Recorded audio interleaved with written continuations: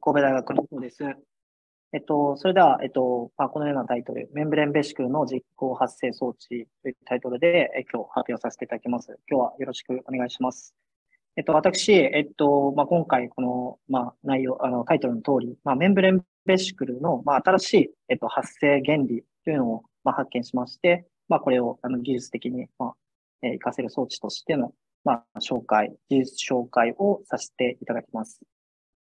で、まあ、タイトルにもございます、このメンブレンベシクルってなん、そもそも何なのっていうことなんですけれども、えっと、このメンブレンベシクルというのは、えっと、微生物、細菌の細胞壁、細胞膜から、えっと、生じてできる、えっと、この、この、こちらの絵で示した脂質二重膜で覆われた、えっと、カプセル状の、えっと、粒子です。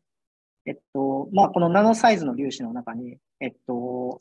えっ、と、まあ、例えばシグナル分子、タンパク質、DNA、RNA、核酸などの、えっと、生体化合物が、えっと、この中に包まれていて、え、こういったものが、えっと、自然界の、えっと、中に存在しています。で、こういったものがどのようにして作られているか、えー、なぜこういったものが存在するのかと言いますと、さあ、この微生物の、えっと、細菌の塊と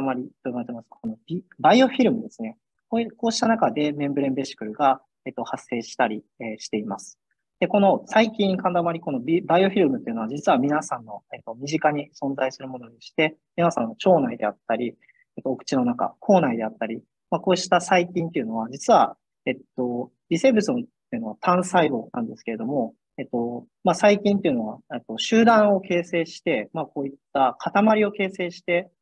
えっと、えー、存在するというふうに知られています。なので、単独で、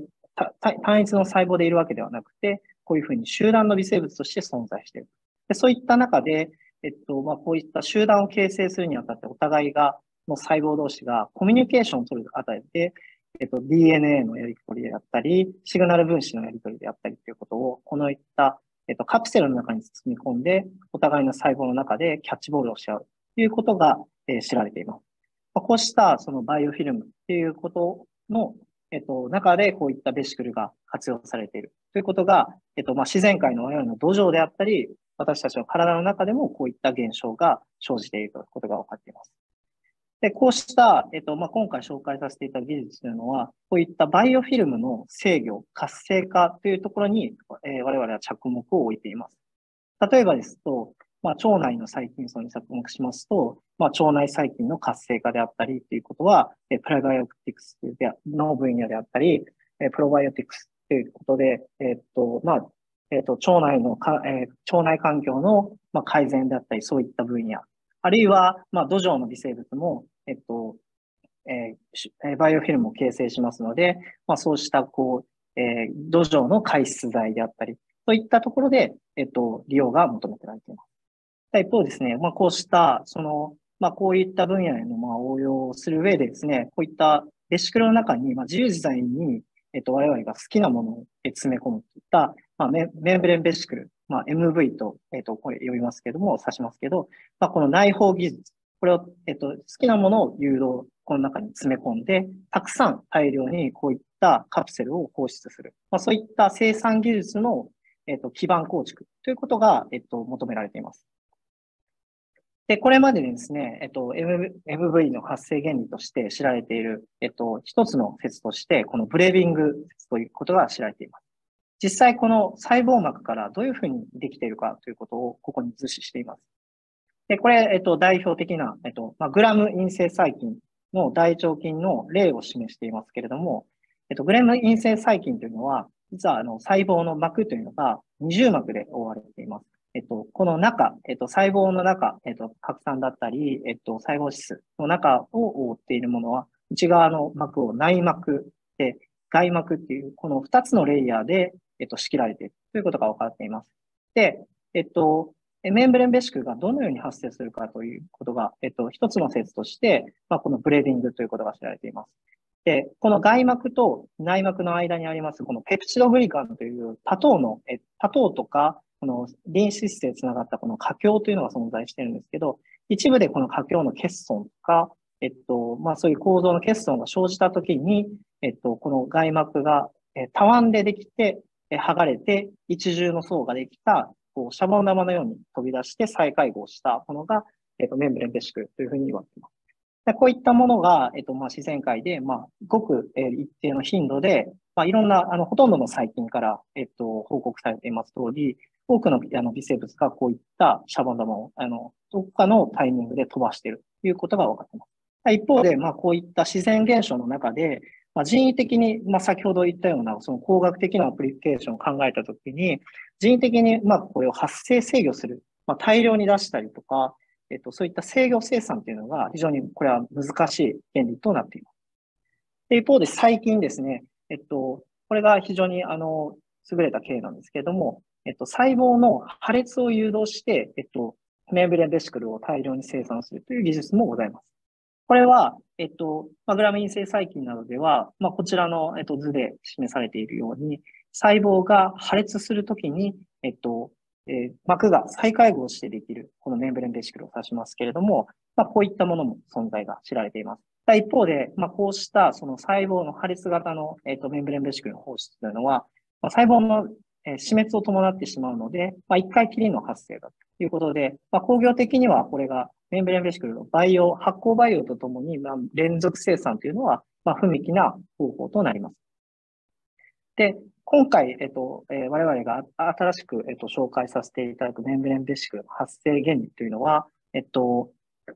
この、えー、グラム陰性細菌の大腸菌から細胞が生きた状態でですね、通常の大腸菌は、えっと、ほとんど、えっと、フラスコの培養では、えっと、ほとんどメンブレンベシクは出さないということが分かっているんですけども、えっと、この、えー、従来の本技術を使いますと、従来の技術に比べて131倍のメンブレンベシクの生産量、大量に、えっと、生きた細胞から、まあ、連続的に、連続培養で大量に生産できるという技術を、えっと、開発しましたので、まあ、これを具体的に今回紹介させていただく経緯となりました。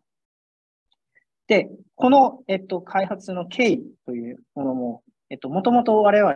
メンブレンベシクルの研究をあのやろうとしてこの原理を見つけたわけではありませんでした。で、ここに書いています通り、もうそのトリックというのは、実は、えっと、僕たち、あの、普段はですね、えっと、バイオプラスチック、成分解性のバイオプラスチックを、えっと、微生物発酵で、えっと、合成する研究というのを、あの、日々取り組んでいます。まあ、そうした中で、偶然的に見つかったこの現象でした。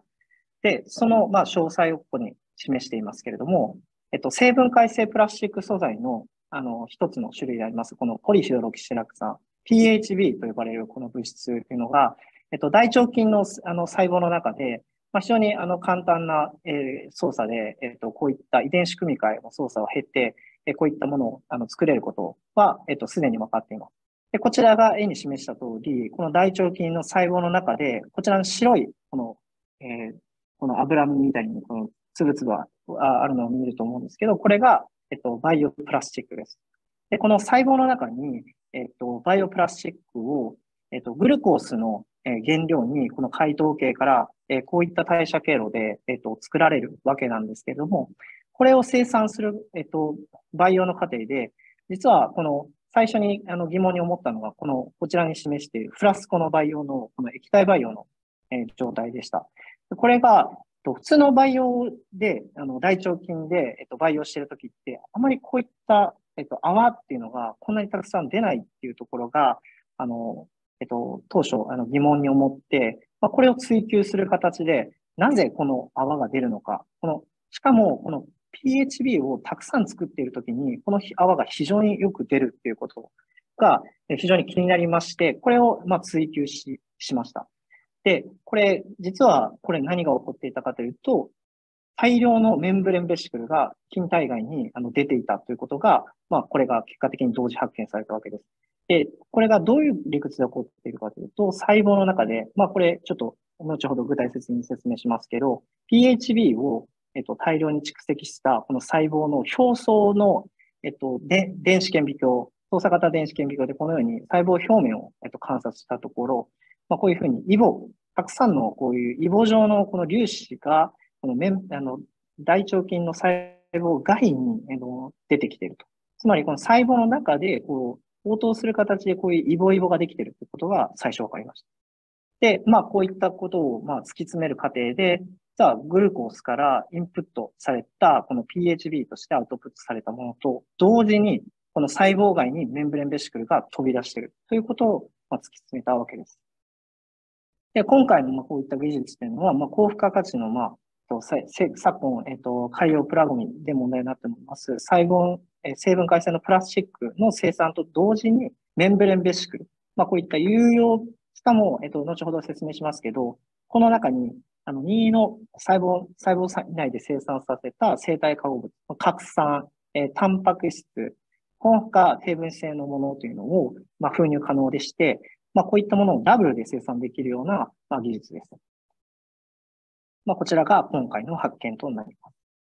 で、この技術の特徴的なところは、非常にこれは、えっと、メカニズム解明をしていく中で面白、面白かったところなんですけど、えっと、実はこの細胞の中のその、えっ、と、PHB というのは、この細胞外にインプットして加える、培地中に加えるグルコースの濃度で、こういうふうにきれいに、えっと、細胞内の蓄積率というのを、えっと、コントロールできます。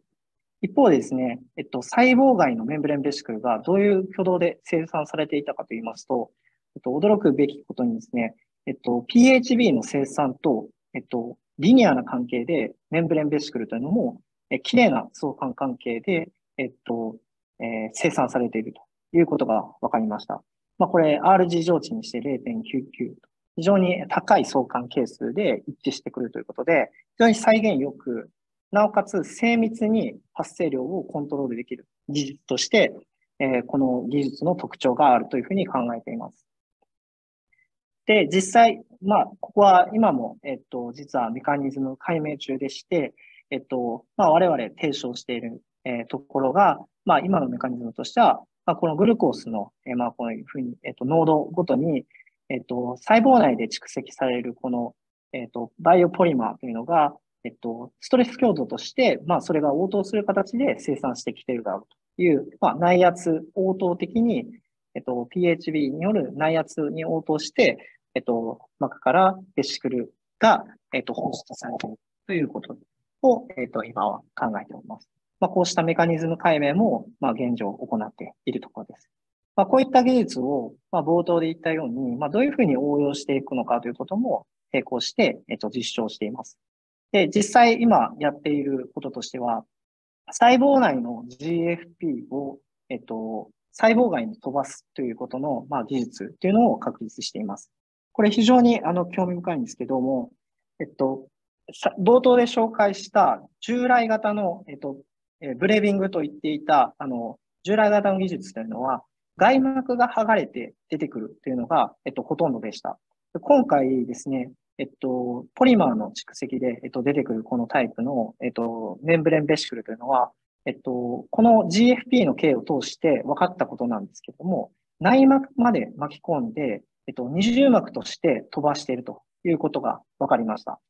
で、まあ、この内膜まで、えっと、飛ばしているので、この細胞の中のものが、えっと、えー、細胞、外に、えっと、このメンブレンベシクルを介して、えっと、出ているということを意味しています。一方で、まあ、その従来技術では、えっと、細胞な、細胞、細胞質の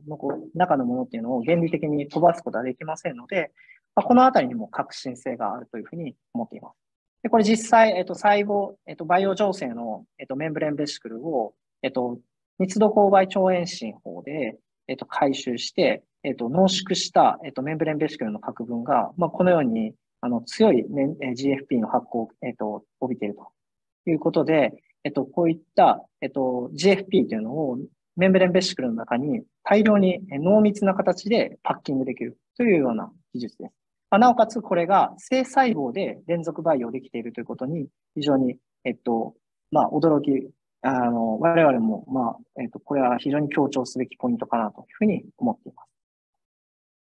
それで、えっと、先ほどの、まあ、GFP をモニターしながら、えっと、メンブレンベシクルの総量としては、えっと、こちらの示した PHB の蓄積率に、蓄積量に依存する形で、メンブレンベシクルの総量は、えこのような、今書いているように、えっと、リニアな関係で、まあ、示されていたんですが、これはちょっと面白かったところなんですけども、実は GFP の、えっと、有利というのは、さあ、この 15g パーリッターというグルコースの臨界点をえっと、木に、えっと、ここが、えっと、スイッチングされているということが分かりました。つまり、えっと、これ以前では GF、メンブレンベシクルは出ているけれども、GFP が出ていない。まあ、すなわち、単層のベシクルはこの過程で出ていて、で、この以降の、えっと、PHB 蓄積量以上では、えっと、まあ、GF、えっと、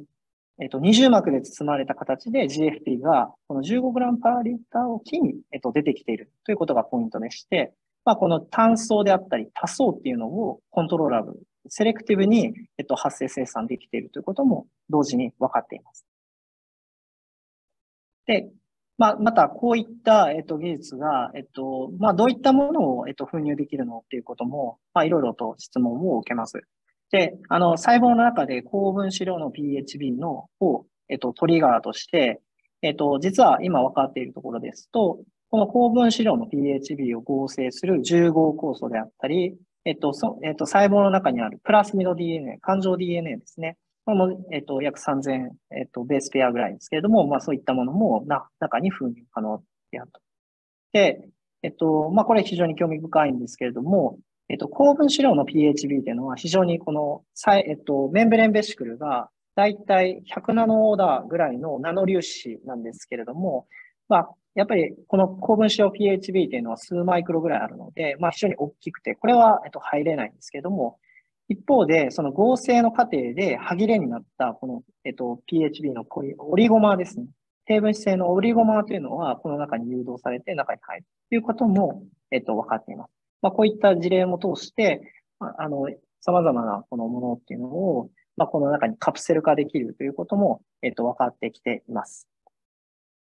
で、まあ、重要なポイントをまあ整理しますと、まあ、今回生きた細胞から連続的にメンブレンベシクル安定的に生産、再現可能な形で生産できるということと、えっと、アンカナグルコースからポリマーとメンブレンベシクルの、まあ、高付加価値の成分というのを、まあ、えっと、ダブルで生産できるっていうということ。なおかつ、えっと、培地中に加える、えっと、グルコースですね、のあの、添加量、まあ、さじ加減でですね、メンブレンベシクの量を自在にコントローラブルできて、しかもその中に有用物質を濃縮でき、それを、えっと、メンブレンベシクルを通して、えっと、細胞の中から細胞外に、えっと、分泌できるような分泌生産系としてもこれは使えます。で、なおかつ、この核酸、タンパク質であったり、脂肪酸の、えっと、オリゴエステルですね。こういったものも内包可能ですので、まあ、そうしたところで、まあ、利用可能な点を、まあ、現在も、えっと、研究を、えー、継続しているところであります。まあ、えっと、まあ、現状ですと、あくまでも、えっと、今回のポリマー誘導型の、えっと、メンブレベシクルの発生の、えっと、応用原理、応用に、まあ、えー、現、えー、現状の状態ですけれども、まあ、これからは、えっと、まあ、いろんなアイデアを、えっと、えー、出しながらですね、まあ、ここからは、まあ、アイデアというか、まあ、提案っていうような、えっ、と、ものですけれども、こういったものができる可能性というのを、あの、探求していきたいというところです。まあ、一つのアイデアは、まあ、そういった食品分野、まあ、メーカーさんとの、まあ、コラボで、まあ、制限できるかというふうに思っていますけれども、えっと、実は、えっと、このポリ、えっと、ポリヒドロキシテラクサンと言っていたものというのは、実は、えっと、まあ、成分解性プラスチック、これ、えっとですね、まあ、土壌であったり、海の中でも、えー、非常に普遍的に存在している炭素源なんですけれども、実は人の腸内細菌の中でも、この、えっと、ケトン体、モノマーというのは存在していて、まあ、こういったものが、えー、なおかつ、えー、人の腸内細菌のところで活性化の効果があるといったり、また、この重合物のこのポリヒドロキシラク酸、このポリマーでも、えっと、分解酵素が存在するであったり、まあ、そうした分解を経て、えっと、その、腸内細菌を活性化するような効果っていうのも、えっと、最近では研究で報告されてきています。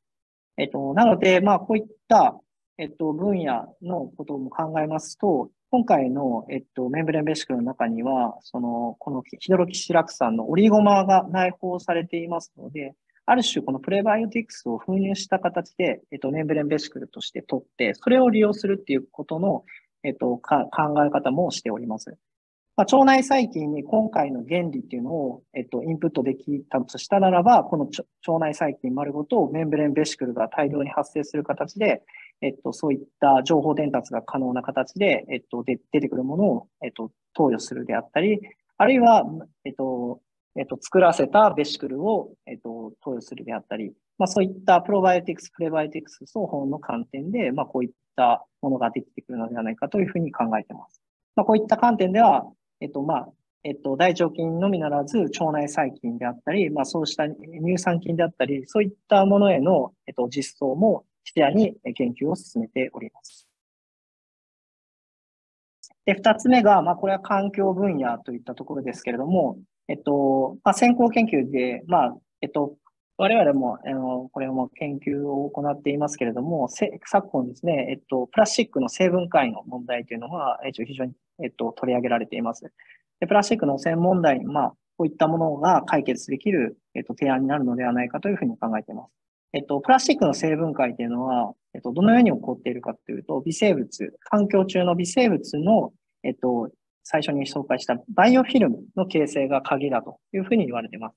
えっと、プラスチックの基板に作るバイオフィルムということで、プラスティスフィアというふうに呼ばれていますけれども、このプラスティスフィアを、えっと、形成するような、まあ、誘導因子でありましたり、えっと、このプラスチックの分解酵素を内包する、内包濃縮する形で、こういったものに投与して、えっと、プラスチックを高速分解できるような、こういったカプセルを作る、まあ、分解除剤ですね。こういったものへの応用というのも研究を、えっと、考えております。えっと、また、えっと、まあ、農業分野でありますと、農業用のバイオスティミュラントというところにも、えっと、応用の可能性というのも考えています。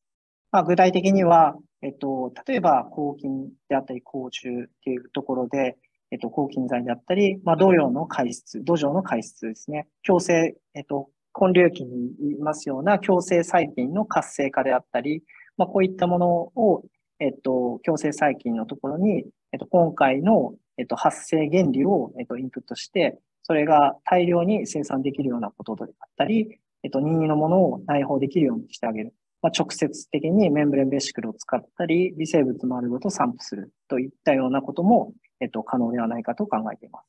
で、またこういった、えっと、まあ、スティムラントとしては、中に入れるスティムラントとしては、ペプチドであったり、核酸、酵素、低別性のオリゴマなどが、えっと、効果があることも、期待しながら、こういった、えっと、分野に興味のある方が、あのぜひコラボレーションできたら、えありがたく思います。と、まあ、一方で、えっと、まあ、まだまだ、えっと、これは、えっと、研究のシーズンの状態ですので、まあ、えっと、いろんな課題を抱えています。まあ、一つは、えっと、メブレベシクのさらなる大量合成の技術ということです。で、えっと、まあ、これも、えっと、鋭研究中ですけれども、まあ、現状、実は、まあ、進めていく中で、例えば、えっと、とある遺伝子を破壊することで、えっと、ゲノム中の遺伝子ですね。えっと、膜、細胞膜に関連するところでありますけれども、こういった、えっと、遺伝子破壊で、メンブレメシクルをさらに、えっと、4倍増やすとか、まあ、過剰生産というところも、えっと、可能性というのを見出しておりますので、これも、えっと、可能性というがあるところと考えています。で、この2番ですけれども、先ほども紹介したように、まあ、今回はまだ大腸菌っていうのを、モデル細菌としての大腸菌を例に、今回の技術が、えっと、確立していますけれども、えっと、まあ、大腸菌以外にもですね、えっと、まあ、医療であったり、食品用途へと、まあ、展開する場合は、当然ですね、えっと、エンドトキシンを、えー、有するこのグラム陰性細菌だけでは、えっと、もともとリスクがありますので、例えば、ポジ、えっと、グラムポジティブ細菌であったり、まあ、そういった、えっと、コリネバクテリウムであったり、えー、乳酸菌であったりといった、まあ、有用な、えっと、産業用の微生物に展開していくといった、えっと、実施例というのも今後は、えっと、拡張していきたいというふうに考えています。とまあ、あの、メーカー様への期待としては、あの、ぜひぜひ、あの、こういった先ほど、まあ、あの、まだまだアイデアベースの状況ですけれども、まあ、興味があるといった、えっと、方は、ぜひ、えっと、とも、えっと、お声掛けいただければと思います。で、こちらが今回に関する、まあ、知財源、えっと、詳細でございます。で、こちら、えっと、えー、興味のある方は、えっと、連絡のほど、えー、お待ちしております。はい。以上で発表終了します。ありがとうございました。